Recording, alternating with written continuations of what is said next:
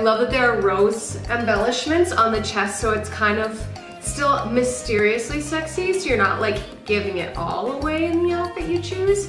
Plus I think this one, I, it's not that I'm scared to show certain parts of my body. Like it's not that. I just feel like this one is perfectly fit for YouTube. And I think outfits more like this are the ones that I'm gonna try to utilize a lot more on my channel because I do wanna keep things appropriate, like I said.